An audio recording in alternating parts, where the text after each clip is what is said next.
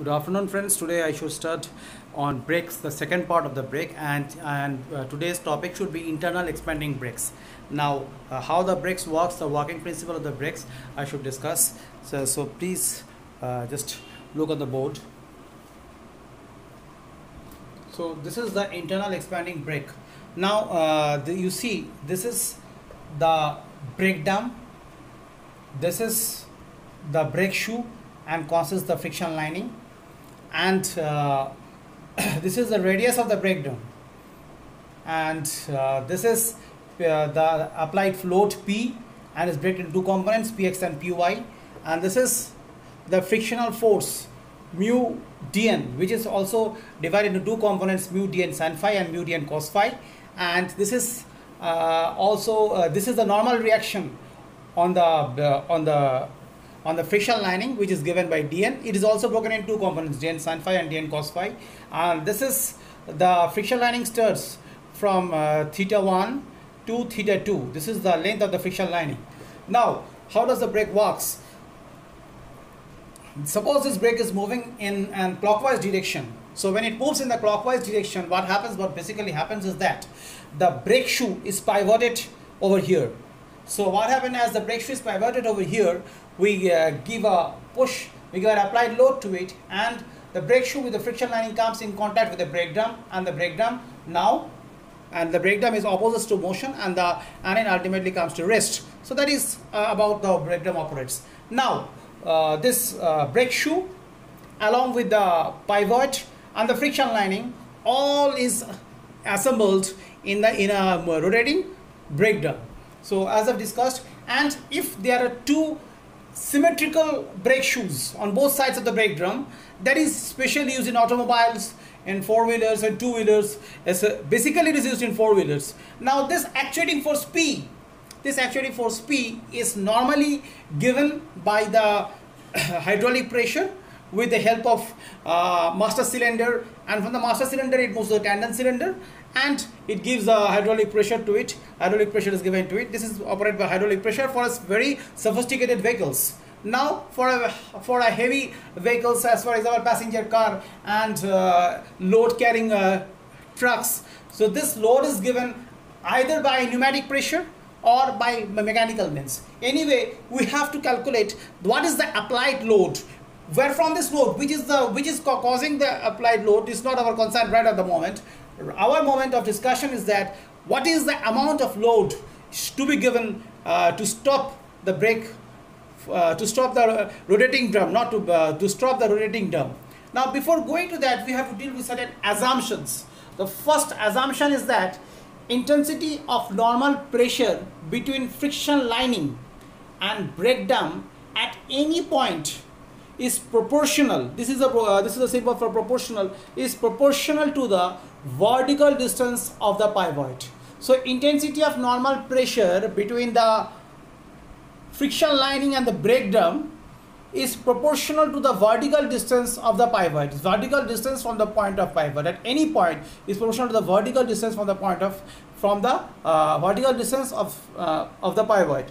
Second assumption is that the brake drum and the shoes are rigid. The brake drum and the shoes are, are rigid. There is no uh, the brake drum and the uh, shoe are very rigid.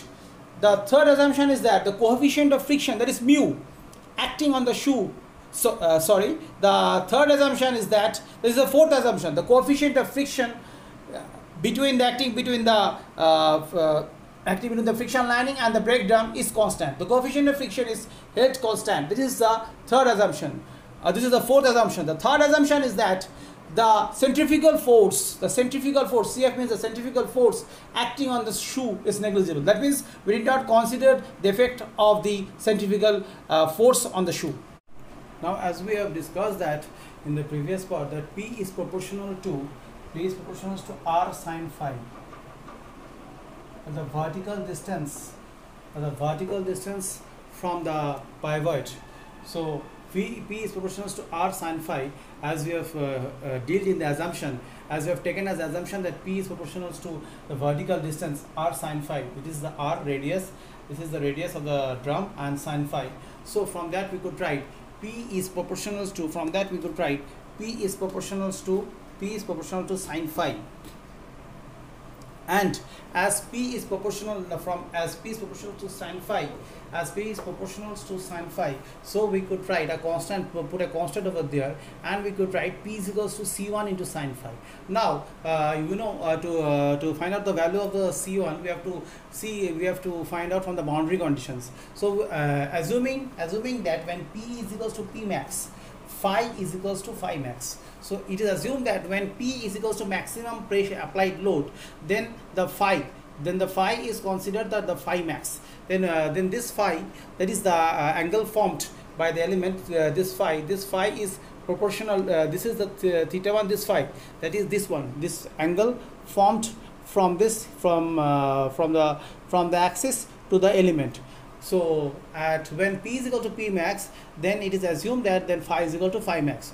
From that reason from that if you put the value of if you have put the value in this equation p max and c1 is equal to sine c max sine phi uh, in, place of uh, sine phi we, we, uh, we put the value of sine phi max. We get the value of c1 we get the value of c1 that C1 is equals to P max into sin phi max. Now we put it into this equation. We put this value into this equation. Now we know the value of C1. So we now we get P is equals to P max by sin phi max into sin phi. So this is the generalized form of the equation. This is the generalized form of the equation.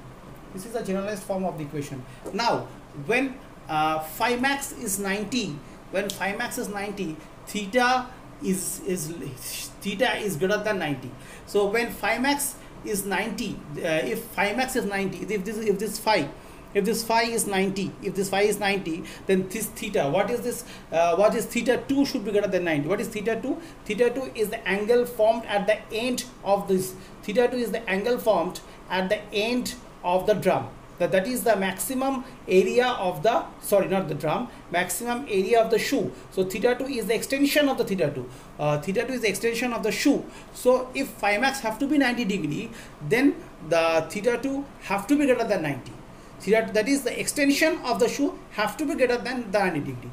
When phi max is equals to theta 2 if phi max is equals to theta 2 uh, then theta 2 is, is, is, is less than 90 that is the angle covered by the uh, shoe.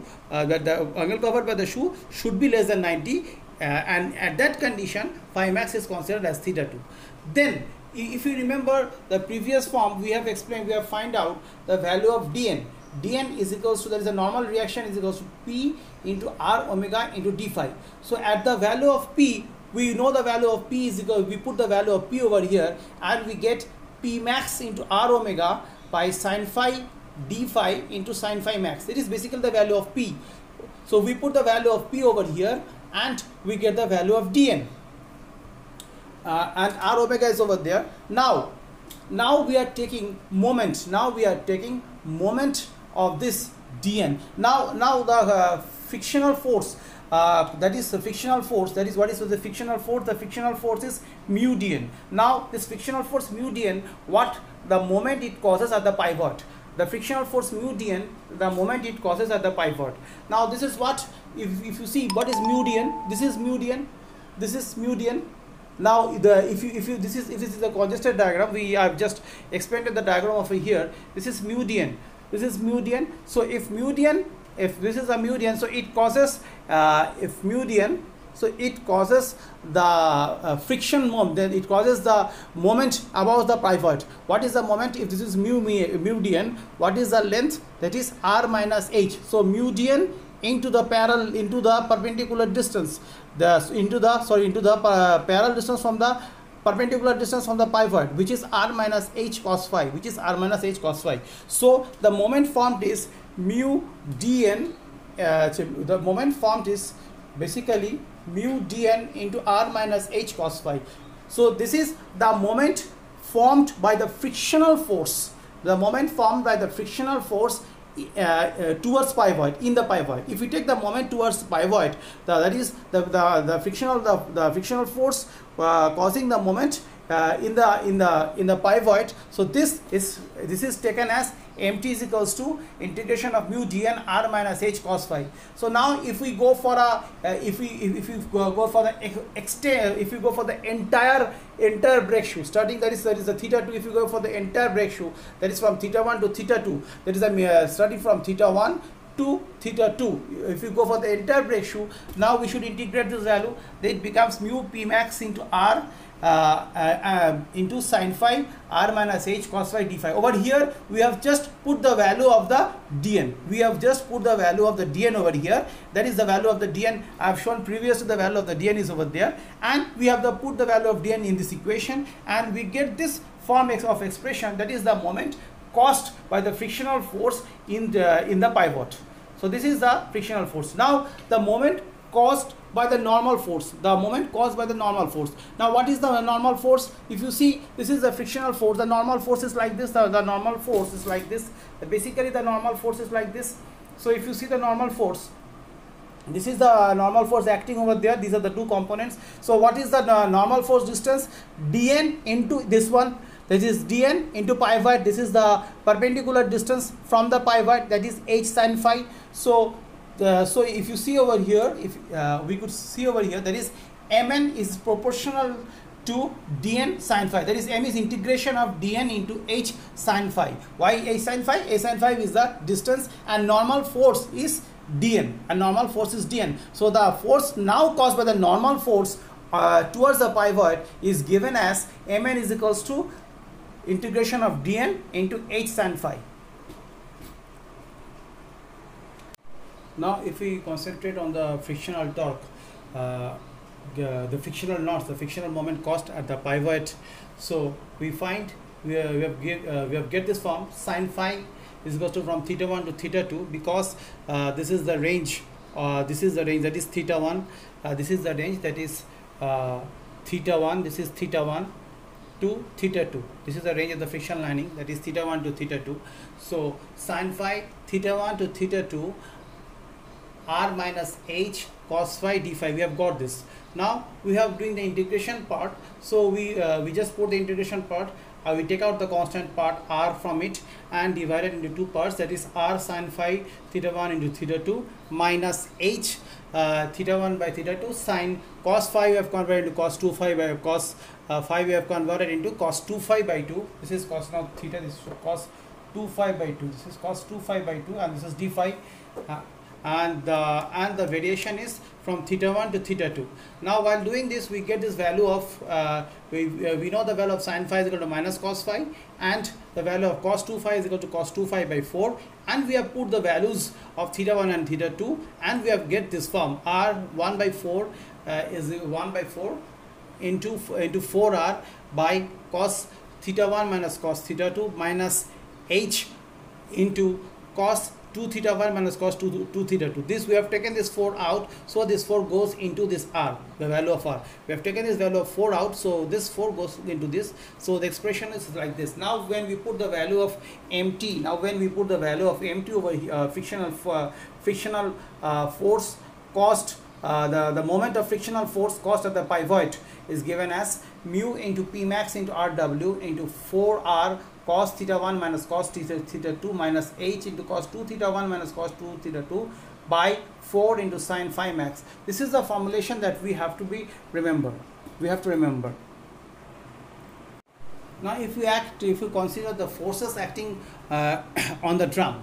Now P is the applied force which causes it to move in this direction, which moves in the clockwise direction. So applied load is given uh, so that the P moves in this clockwise direction. So P into C should be taken as negative as, so as clockwise uh, moment is taken as negative. So P minus C is taken as negative moment. Now again frictional force. Now frictional force is uh, acting in which direction? Uh, frictional force is acting in which direction? If you see mu dn, mu dn, mu dn is also acting in this direction. Uh, mu dn that is frictional force which I have calculated before also which is acting also in the clockwise direction which is also acting in this clockwise direction. So it is also negative. So i have put the value of minus mf that is frictional force which is negative. Now mn normal reaction. Now normal reaction force is acting in this direction. That is uh, towards the anti-clockwise direction. Uh, anti-clockwise uh, direction. Before before that p so uh, it tends to normal direction tends to uh, uh, tends to uh, move this in this direction. uh, it uh, the shoe it will tries to come like this. So what happened? It is positive. So mn is taken as positive. So mn is taken as positive. So if you see once more i'm explaining once more. This load will try to move it in this direction against the rotating drum so this is clockwise and the frictional force. Mu dn is also acting in this clockwise direction. Mu dn is also acting in this direction. Uh, it is also acting in this direction. That is a clockwise direction. Only the normal reaction is acting in the opposite direction. So it tries to move it down. It has to shift it, shift it down. So the normal reaction is the the moment of the normal reaction is acting in the anti-clockwise direction. So it is taken as positive. So it is taken as positive. So this is the equilibrium equation. Now if you put it you get the value of applied load p is equals to mn minus mf by c uh, this is this is for clockwise rotation of the uh, brake drum. Now, if the brake drum rotates in the anti-clockwise direction, only thing will replace uh, it will it will be replaced. MF will uh, MN will then become clockwise, and the uh, ultimate equation will become P is equals to MN plus MF plus C. So please remember this is for anti-clockwise movement of the drum and this is for clockwise movement of the drum so uh, according to me i have taken the all the I have taken all the uh, uh, anti-clockwise moment uh, positive and the clockwise moment as negative.